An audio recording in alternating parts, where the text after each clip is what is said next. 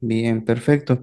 Bueno, mire, yo le cuento, la actividad va de menor a mayor, vamos por lo, lo- lo básico, hasta poder diseñar y calcular este, un tablero eléctrico de acuerdo a, a la reglamentación que está vigente en nuestro país, ¿no?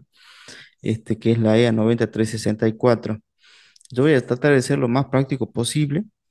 También lo que le voy a pedir es que los trabajos que nosotros le, le demos, encarguemos para que usted realice, lo haga porque va a ser la única forma de que pueda comprender, porque van a surgir dudas, consultas, este, y alguna cuestión, digamos, que le va a ayudar a enriquecer esta actividad, a fin de que le sea provechoso.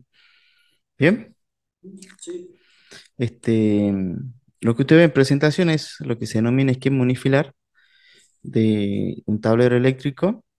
La idea es que usted dimensione cada una de las partes de un tablero, diseñe las distintas medidas de protección y pueda confeccionar cualquier tipo de tablero, ¿no? Tablero principal, tablero seccional, tablero seccional general, este, y lo pueda representar o graficar a fin de que, le cuento esto, se debe pegar en los tableros eléctricos, ¿no? Porque todo tablero eléctrico tiene que tener información de cómo se ha ejecutado, ¿no?